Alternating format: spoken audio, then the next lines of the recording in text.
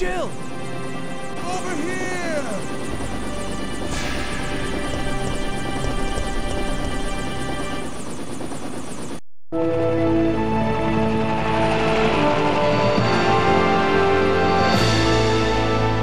I guess we're all set. All right then, we're out of here. Oh no. It's here. To go.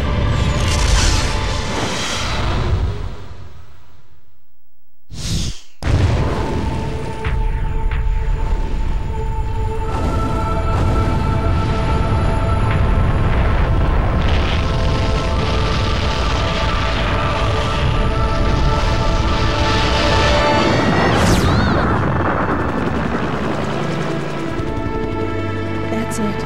I've had it.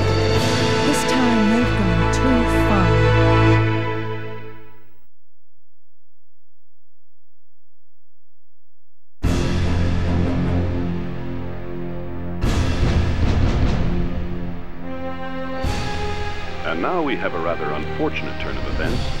It seems that the President and the Federal Council have passed judgment over the civilians of Raccoon City. The President and Federal Council have ruled that the Bacillus Terminate operation is the best course of action for this extreme situation and have since executed.